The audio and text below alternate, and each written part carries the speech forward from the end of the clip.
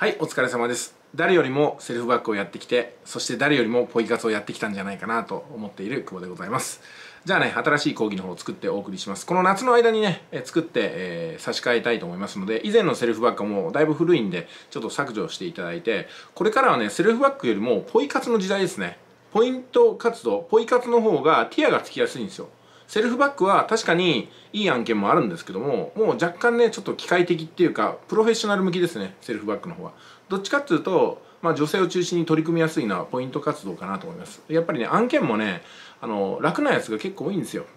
で報酬もつきやすくなってます。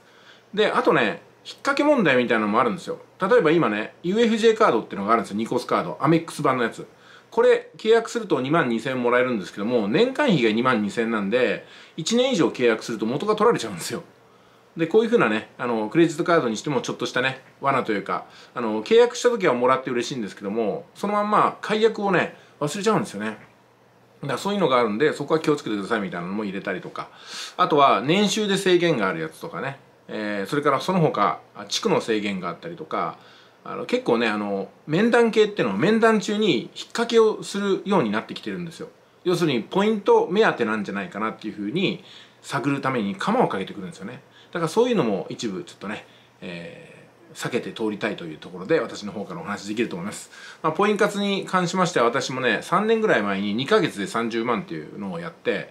1ヶ月で10万やっていたそのセルフバックの時よりも月単価は高いんですよ。で実際あの月単価高くすると結構ねあの長期でもらうやつってあるんですよ。例えばインターネットの切り替えって1年がかりでポイント少しずつ請求しないといけないんで結構面倒だったりしますね。その辺もお話しましょう。